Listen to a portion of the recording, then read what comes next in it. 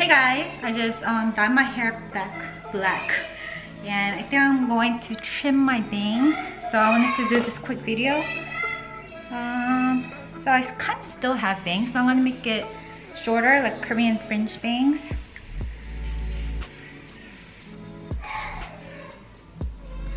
You want to kind of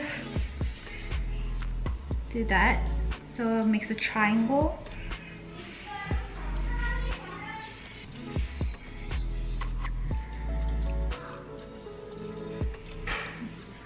straight across.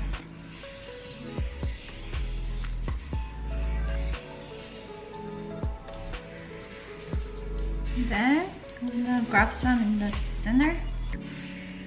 Leave this centerpiece here. A little bit more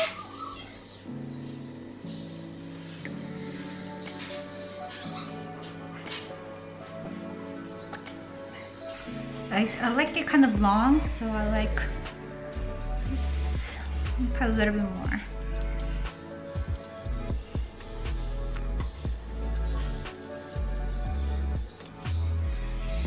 Like right here, kind of still covers my eyes. This.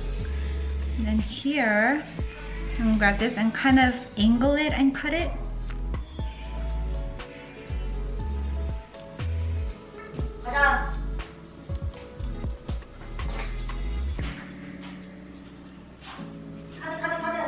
There you have it.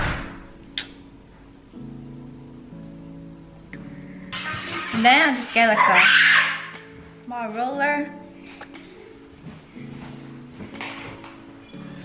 Keep it on there for a few minutes.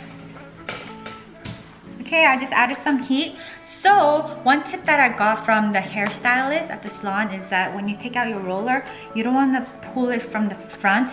Um, you want to pull it from the back. So, do this, pull it from the back, like so. And then give it a nice volume. Okay guys, so this is pretty much how I trim my bangs. And I trim it like every two weeks, but this time I haven't cut it for like two months. That's why I had to cut a lot, but yeah. Thanks guys.